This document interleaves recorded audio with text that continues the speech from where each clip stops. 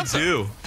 I yeah. I mean, uh, I, I, you gotta go. Uh, so Alfie goes over to the Echo here. Echo Tracer. I mean, uh, Tracer's always been uh, like pretty good against like some of these aerial comps, right? Because if they get a little bit close to the ground, you can just kind of like clip them out. But I mean, we've seen them Uh, try the Tracer like a few times, and Alfie was not able to make it out of the spawn. This is a Nano here uh, onto Pelican as he's just now juice of damage boost Nano as he's trying to take Alfie out of the sky. Gets slept here. nice. There Uh, they finally finish him off. Yeah. He got both of them too. That's that's filthy. Great sleep. I mean, Teru stepped it up in a big way. But Alfie is kind of freelancing on this Echo a little bit, right? No pocket, but that's not really required. Echo operates so differently to Pharah. Pharah is that damage over time, really over a longer team fight, and, and you know, you're able to put a lot of pressure down, get a lot of damage. Echo is get in, get the job done, and get out with that burst damage. And I mean, yeah, that was that was a masterclass from Alfie.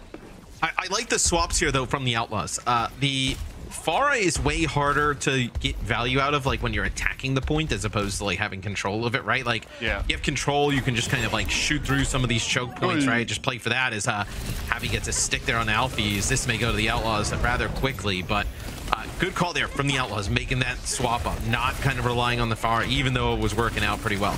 Yeah, no messing here. Pelican Sombra, obviously well equipped to deal with Echo if she gets too close to the ground. Will be afflicted with the reverse Icarus curse. And Alfie getting just kept very low here. Happy hoped to steal the health pack away. And in fact, he did, but Alfie he still had the damage. The burst was sublime. He had recall up as well, just didn't get it off. As, oh, as soon as the hack comes in, it's actually Alfie who ends up using the duplicate uh, just to turn into the Kiriko here, just to try and stay alive a little bit. They still have the point though, Houston. Great stall up to 95. Sheer weight of ultimates just bearing down upon them in that fight. Kitsune Rush was used there, sound barrier. A lot to deal with. How do you play around this EMP here if you're the Justice? Because really, EMP, Kitsune Rush, like using those, trying to like finish this off. Uh, can you maybe bait Mirror here uh, and then nano him, try and keep him up?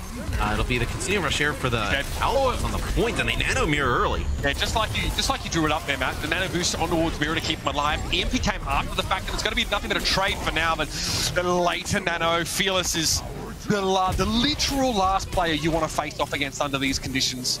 Mirror has no choice for him, but yeah, he's going to have to try and group up with the Justice, have one more crack at this. The Outlaws are back in control with a Pulse Bomb ready to go. And Mirror overextended and hit with the hmm. bio is down. I mean, he needed to get the touch there, but just jumps onto the point, gets hit with a biotic grenade. You didn't even have anybody else in terms of you know, line of sight able to heal him. FD God now trying to stay on the point with some healing help from Teru, but does not look likely that the Justice are going to be able to flip it. After he wanted a pulse bomb there, but his target evaporated into a red mist. The Houston Outlaws, okay, they've woken up a little bit here. Slow to start, to be fair, but the Sombra composition, the switch off the Pharah, yeah, it's all been in their favor. Further stall from the Washington Justice here. Eventually, this will be put to bed. That overtime ticket can only last for so long.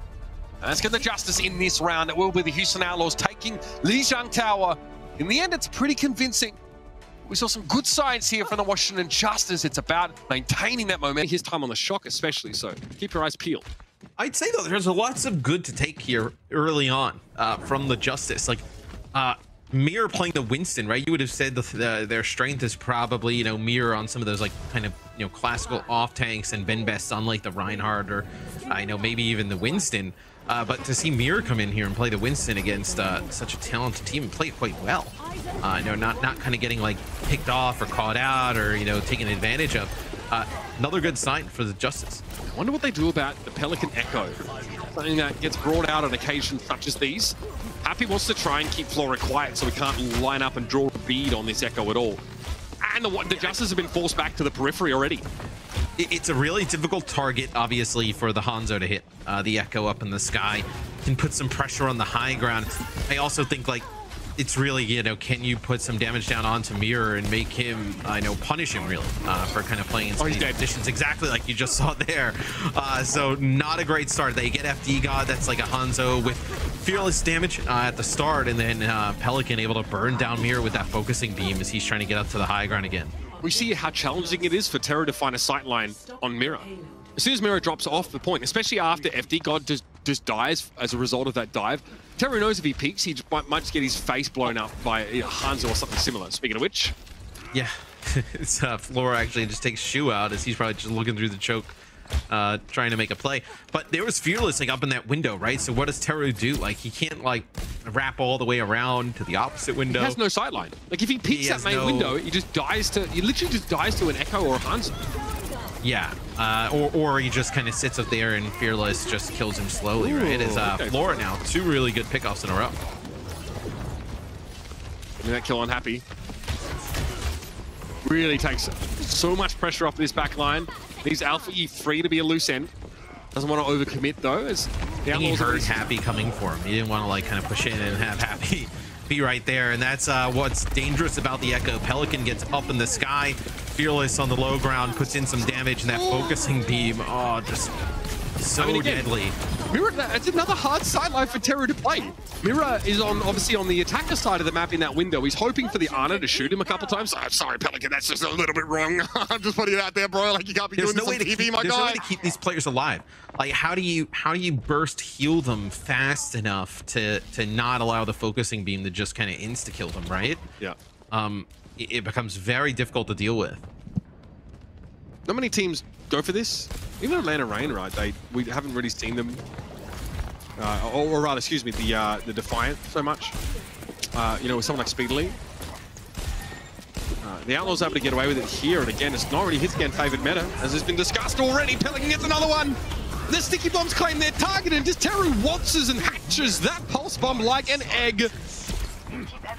I think it's going to be a tough fast. road here for the Justice, Matt. They are in trouble. Uh, and I think like one of the keys as well is that they're they're allowed to go in and Uh, be this aggressive as uh, uh, Oh yeah boy. the cart's just rolling on in. But uh, the Outlaws, it's really the supports, right? Like decided that first checkpoint as the Outlaws get a hold. Looks like Violet there with the boop. I think everyone calling C9 in the chat, but I don't know if that quite satisfies the condition. Regardless, for the Washington Justice, that was painful, right? They actually start a few of these fights off at a player advantage, and somehow Houston are able to even the ledger almost instantly in many cases. We thought they were done. Uh, in that sort of second to last fight, Shu unable to keep Fearless alive, and all of a sudden, two players come back off spawn. Shu still has an ant matrix to work with, and the Justice are cowering. It's the uh, it's that old Dallas Fuel slash Shock type of. You know, they they consistently win these fights a player or two down. They always seem that like, oh, this this fight's unwinnable, and it is winnable, right? It's uh, you have some of those players uh, from these rosters on there, maybe maybe that's really it. Is uh, it's uh, Violet with a nice boop here. We'll take a look as This this is the Ajax. sound barrier. Oh yeah, that's. That's the annihilation rolling right on the other side of that too. I mean, that's a that's a rough spot to be in to have to use it. That's painful stuff. Okay. Ooh. Zinya. Okay. Zenyatta on attack would be fun. The Outlaws, know they have a decent buffer to work with here. Uh, pretty scary for Ramattra. So for anyone ready to deal with that Discord orb, go for it. Show us something uh, a little bit special. I wonder how it plays into like a, a, a full a spawn hole here, a spawn camp rather. We're about to find out, I guess. I mean, what you just got the the Discord orb, right? Lay it down, just collapse on a target. Maybe they're looking at Teru, maybe it's FD God. Uh, we'll see. There's a biotic grenade. It connects with Flora and Mirror. Teru And the sleep Over. here on the Teru right away. Oh, Just that is. over. Well, It this didn't is even really start. this is long. Like, I it's mean, over. This It hasn't been a fair fight in a little while. Yeah, we are we are in full Bing chillin' mode. Pelican is having the time of his life. Yeah, Pe- Pelican always looks to be having just a ton of fun uh, in the server. It may just be cheering on Violet as Violet brings out the Zen here. is uh, You ask why do people smurf? Exhibit A. Exhibit A, Matthew. Yeah. Having too much fun. Violet. Violet goes away from Zen, realizes not the answer. Right. Still uh, invested in winning the map here. Violet has to Suzu oneself. Flora being warded away. You'll get the trade. Okay. We're not what he's looking for, though. Maybe would have preferred to be able to offer some of that defensive utility to Fearless, especially, who's forced to jump away. Hey, 2 minutes 42 on the clock. Plenty to work with for Houston. Yeah, and uh, Houston's going to have a nano here, so you can nano Fearless with an EMP to kind of follow that up. Could be what seals this series in favor of the Outlaws as uh, shot there goes into FD God. Him a little bit weak, the cleanse here to help Shu stay alive. And when the nano goes through on Mirror and he pushes in, they're going to nano Fearless. The sleep goes right on a Mirror, so not going to get a ton of value out of that. No, I mean, they've been crucial. Mirror doesn't use the Annihilation before the sleep comes out, so there is that at least. However, uh, you really need a way to try and keep the Ramattra topped up. And Mirror doesn't really have that, so another Nemesis transformation, though, will yield him that extra armor. Losing Shu, not ideal, but there was a Kitsune Rush in play for Violet. Here's an EMP. Going to be pretty bad for Pelican now. Can only sort of uh, dodge around. Oh! And he's able to find the deflect just in time. Alfie gets bisected. They go get Mirror. They double back and they go kill Mirror. Now they're going to push up. This is Hive Mind play from the Outlaws here. They're making some very quick rotations, Matt. Hard to keep track of, and especially if you're the Washington Justice right now. FD God is done. Blade going to be connecting with him. Flora forced to translocate out. Uh, at risk, of course, of being hacked himself, and it would have been deterministic from there. Alfie's dancing. Mirror's been taken down already. Fearless wants to extend that advantage, and they'll get there. The Houston Outlaws make it convincing. There was some resistance. Some from the Washington Justice at the start of this series, but that crumbled soon after